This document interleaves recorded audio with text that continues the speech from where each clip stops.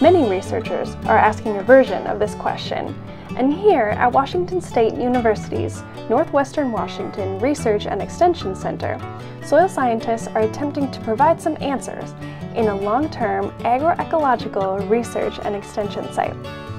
Feeding the growing population in the next century is a daunting task, especially in a changing climate, but advances in agriculture can be part of the climate solution.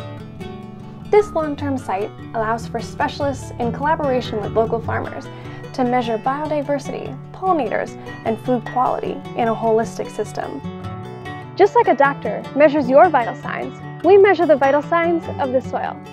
With funding from the Washington State Soil Health Initiative and this gas analyzer, we measure soil respiration. Microbes breathe out CO2, just like we do when we break down food in our bodies.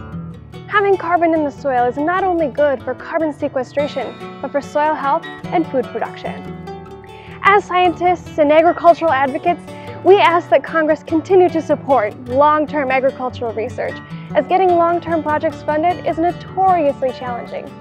To ensure that the world will be clothed and provided with a safe and wholesome food supply, we ask that Congress fund it forward.